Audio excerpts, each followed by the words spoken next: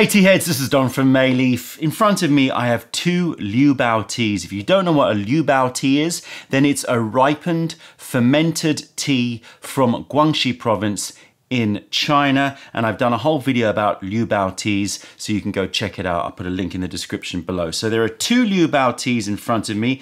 These are both fresh in stock and I wanted to taste them back to back because they're made by the same producer, but there is 12 years difference between them in age. So this one here is from 2021, so pretty fresh. And this one here is from 2009. So 12 years difference between them. Liu Bao tea is basket aged tea. So it's, it's going through a different ripening process compared with ripe pu'er tea. However, it's similar in the sense that it's stored in a moist environment to allow the microbes on the leaf or seeded within the sort of production area to ferment the tea. So same producer. Now, of course, every batch of tea is different. They're actually from slightly different areas in Guangxi, um, this, uh, these teas. And so it's not a perfect comparison. It's not exactly the same bushes, just 12 years later. But same producers, same fermentation style, so it's going to be there or thereabouts. And what I want to try and um, understand with these kinds of tastings, and I encourage you to do these kinds of tastings, if you're a lover of tea, you really need to understand the nuances that processing has on the tea to try to figure out the, uh, the effect that aging has on Liu Bao in terms of texture, in terms of taste, in terms of aromatics, and potentially in terms of body sensation. Although, of course, that's going to be almost impossible for me to figure out because I'm going to be drinking both of them together. So let's take a look at the leaves. So this is a spring 2021. This is spring 2009. They're bo both from the uh, Guangxi Dayezhong variety. The origin, as I said, they're slightly different parts of Guangxi province, but the same producer picking and processing is going to be pretty much identical because of the fact that it's uh, the same producer and the elevations around 500 meters. You can see that the older one has a slightly more broken up look to it. That's what you'd expect as tea ages. It becomes a little bit more broken, a little bit more fragile. I would suspect that um, it's not just a difference in the look because of picking or fermentation, but is also to do with age. But as I said, no two batches of tea are ever the same. That's why we delight in tea.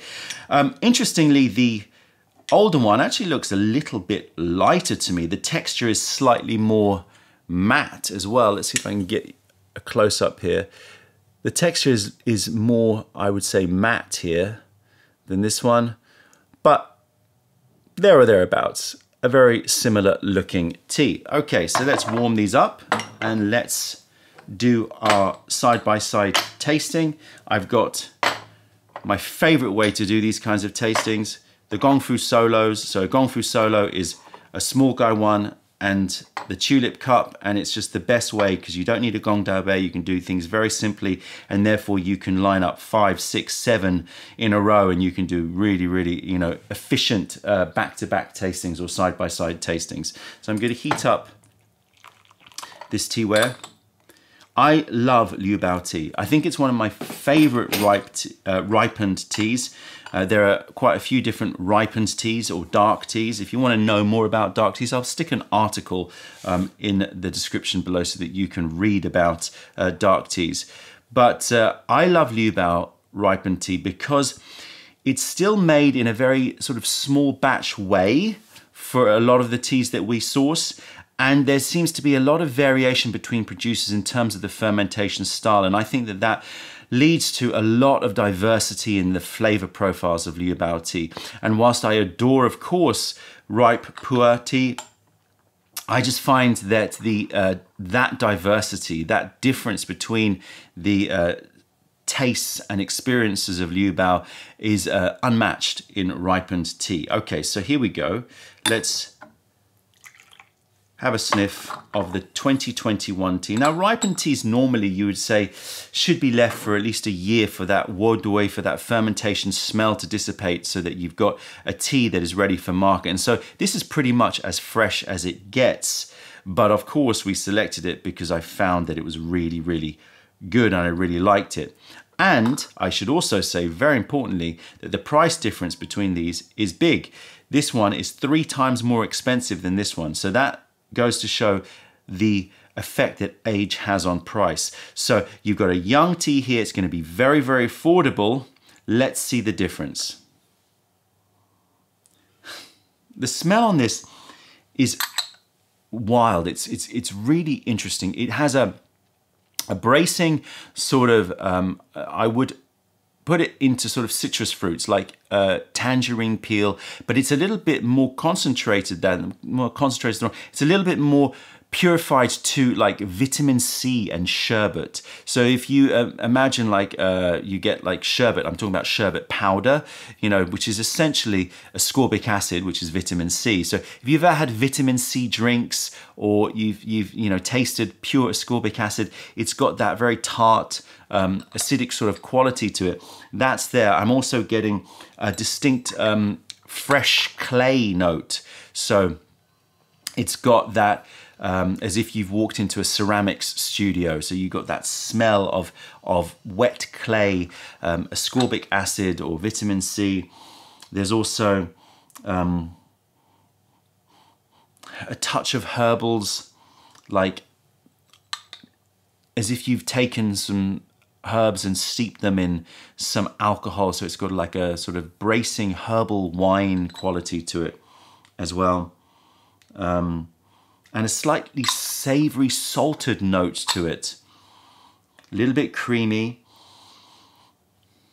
Maybe salted egg yolks, if you've ever had salted, uh, I think this is mostly salted duck egg yolks, uh, and it's commonly used in cooking in the Far East. It has a very particular rich and salty note. So it's salty, it's um, um, tangy, and it's uh, got that clay note, but it's all in the lighter territory. We compare that to the 2009, and I expect a very different experience. Extremely different. Um, the clays are there, but the clays are richer. That so it's you're getting much more of a rich.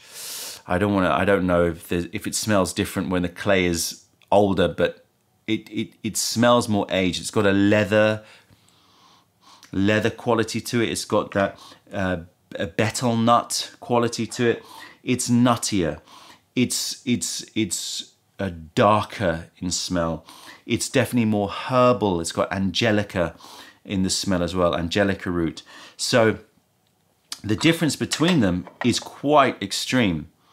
From lighter, slightly brighter, more of those sort of acidic, sort of um, citrusy notes, and a light clay note to really you're in that ceramics studio, and there's the, the herbal sort of wines that we talked about with this one have developed into a sort of a rich angelica root, betel nut quality. Again, you can take a look at the differences there. Okay, let's give these a rinse. I'm just going to use this water since it's still warm. Gong Fu Solo Brewing, which is how I do all of my sample tasting, is just an efficient way to do Gong Fu brewing with a very small footprint. And as I said, you can do multiple teas all together, but you don't have to. A lot of time, in fact, most of my sessions when I'm sort of at the desktop, if I'm working, is literally this, this, and a towel. Just put a towel down, which I don't have right here. Put a towel down, that on top, you're done. Okay, here we go. Let's have a smell of the 2021. Oh my gosh, it's amazing. This bright, uh, um, so now I am getting tangerine, slightly aged tangerine peel. Um, the clay is still there, but it's the brightness which is so interesting. Um, maybe a bit of maybe a bit of salted plum.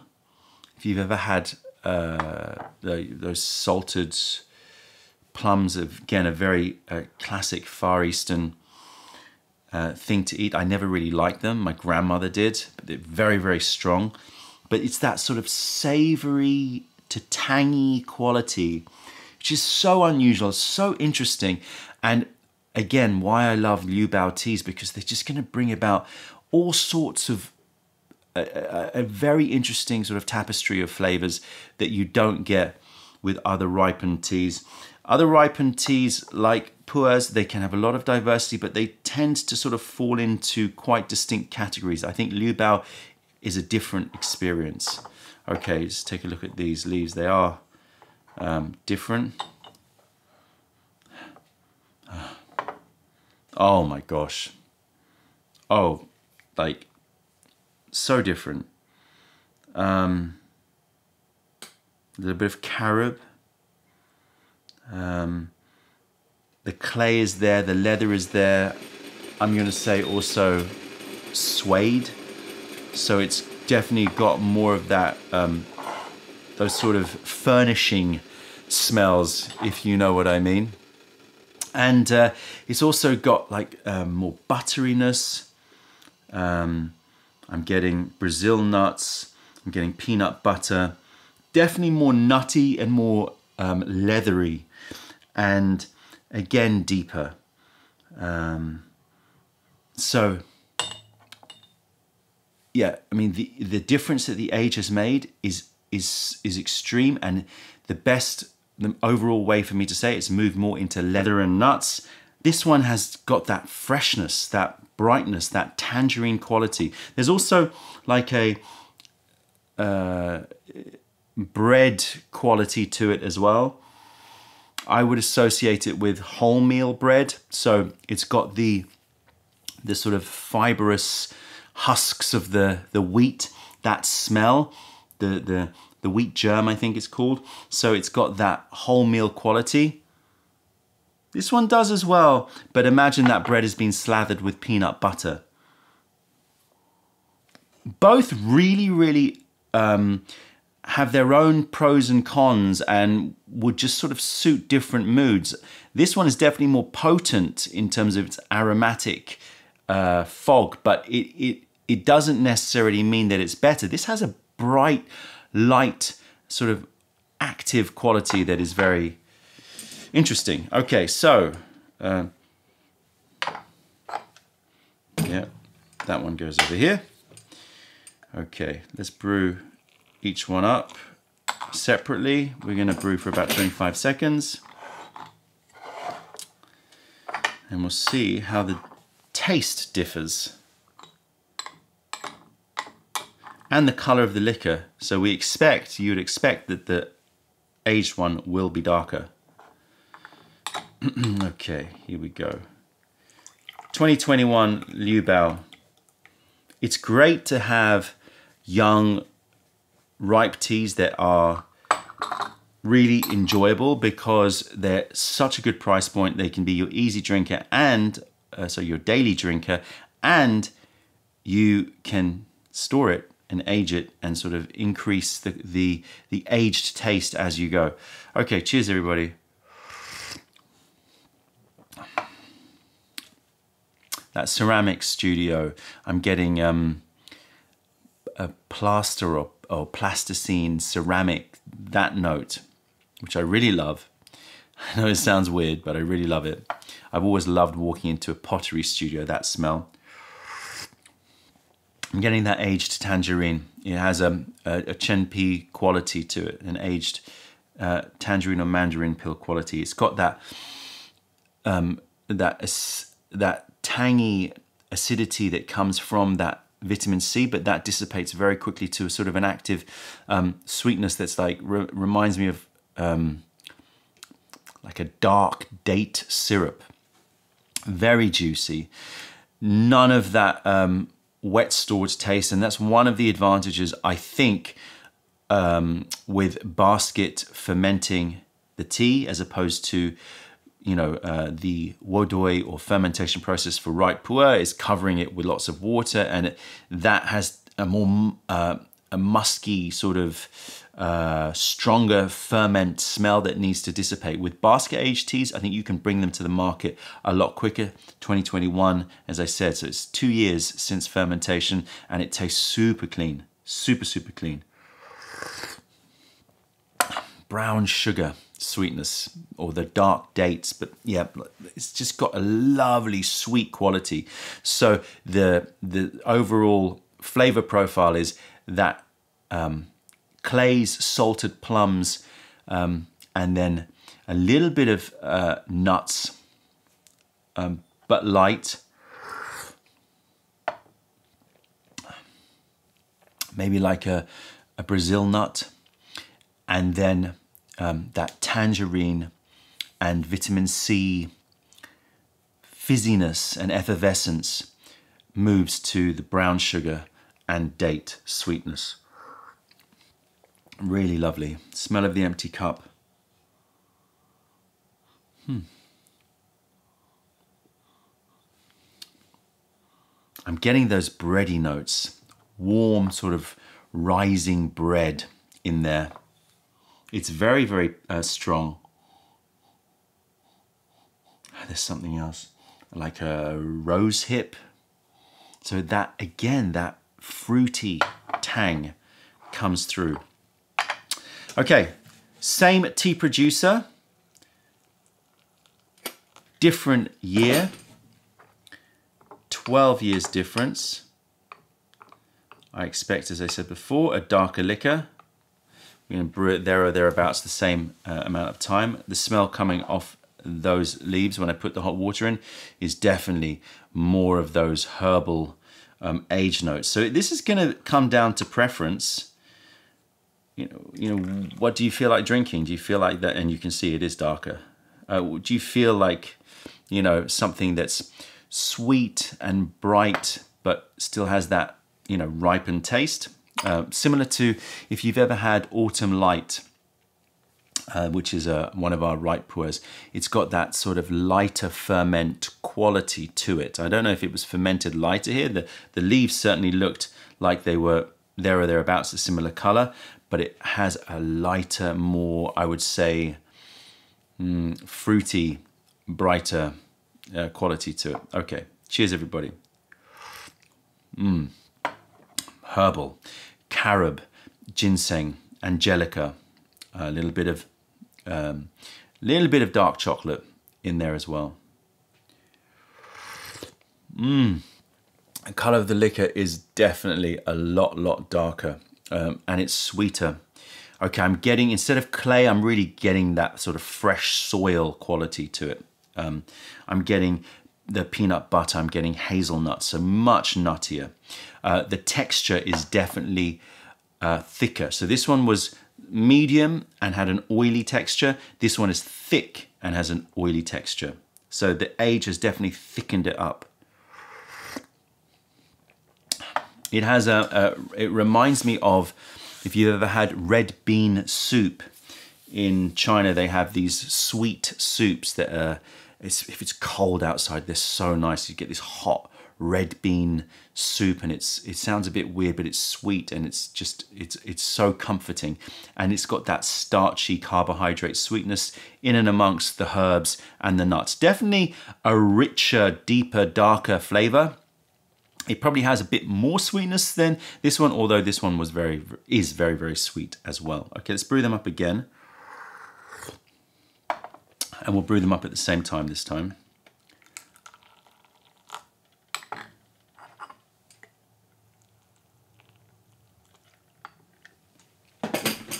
quickly smell the empty cup here. So similar potency, but very different palate. This one is darker chocolates.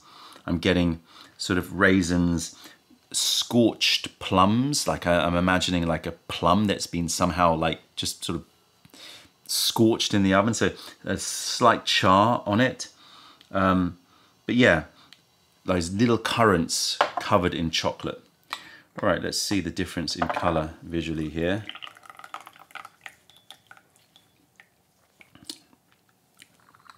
It's great to do back-to-back -back tastings. one of the most useful things. Oh, the color is not as different as I thought, but it is lighter. Uh, the younger one. Yeah, one of the greatest things to do is back-to-back tastings. It really is the most educative way to understand the effect of anything. It might be if you're testing clay, teaware, if you're just sort of combining, uh, comparing two, uh, you know, same same supply, different years, or same year, different suppliers. You know, it's it's a really really useful thing to do. Okay, so let's take a look at the color here you can see that this one is slightly lighter, slightly more sort of chestnutty. This one's more mahogany color. The um, mouthfeel, before I drink the young one again, of this aged one is very vaporous. So it's not just thicker, it's also more vaporous and it's got that, it's almost got the, the aftertaste of a really good um, whiskey sort of that, that malty, again, more carbohydrate quality to it. So it's got that starchy malt whiskey finish in the mouth with hazelnuts and peanut butters. So nuttier, um, slightly sweeter, thicker, more vaporous, more herbal, more deep. Brighter, um, a little bit more mineral, but in a really great way. Um, fresher, the sweetness uh, and the, the flavor profile is just up a level in terms of um, its brightness and, uh, and definitely has more fruits compared to nuts. Here we go. Second infusion, always a winner. Mmm. Amazing. It has a, it has like a little, um, like, um, I don't know, cherry wine or fruit wine quality to it, as if you've taken a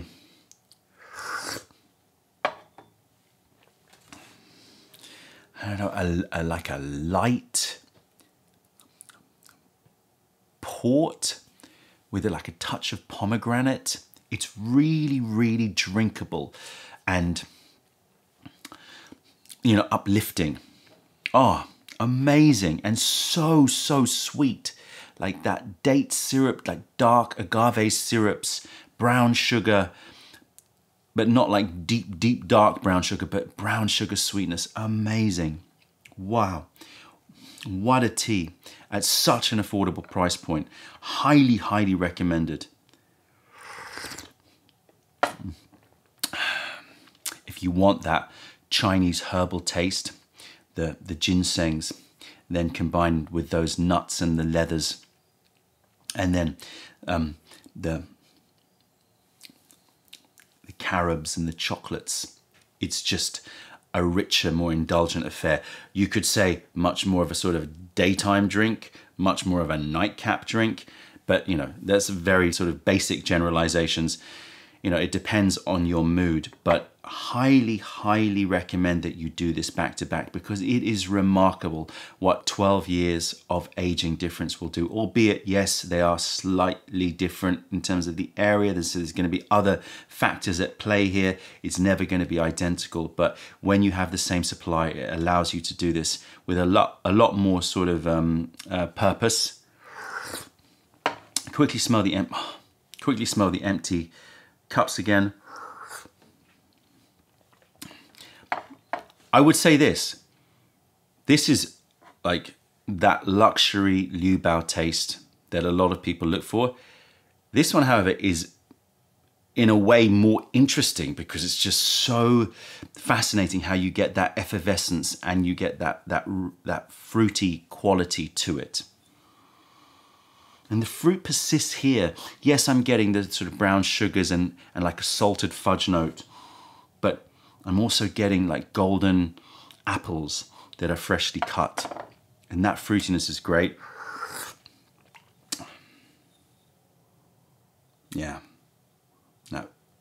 Just vaporous, sweet, sticky um, chocolates and nuts. Let's take a, take a look at those leaves. Now you can see that the older one is definitely, definitely a lot darker.